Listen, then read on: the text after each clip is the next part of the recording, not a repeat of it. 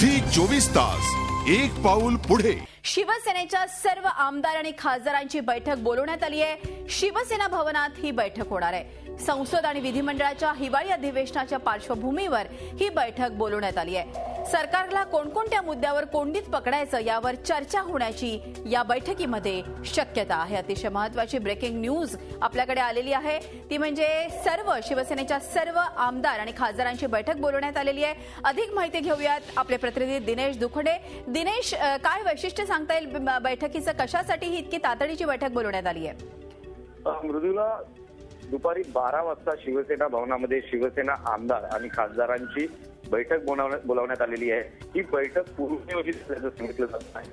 दिवाळी अधिवेशनाच्या पार्श्वभूमीवर सरकारला घेरण्याची रणनीती ठरवण्यासाठी ही बैठक बोलावण्यात आलेली आहे. शिवसेना उद्धव ठाकरे या बैठकीत मार्गदर्शन करणार आहे. कशा पद्धतीने सरकारने जे विविध पद्धतीचे घोटाळे केलेले आहेत आणि हे घोटाळे अलीकडच्या काळात उघडकीस आलेले आहेत राज्यामध्ये जो जलसिंचनाच्या खात्यामध्ये झालेला घोटाळा आणि त्यानंतर अजित पवार यांनी उपमुख्यमंत्री आणि मंत्रिपदाचा दिलेला राजीनामा या सर्व प्रकरणांवर या बैठकीमध्ये चर्चा होऊ शकते. आक्रमक पद्धतीने कशा पद्धतीने या अधिवेशनात आपल्याला सरकारला घेरता येईल सरकारची कोंडी करता येईल या संदर्भातली ही बैठक मानली जाते.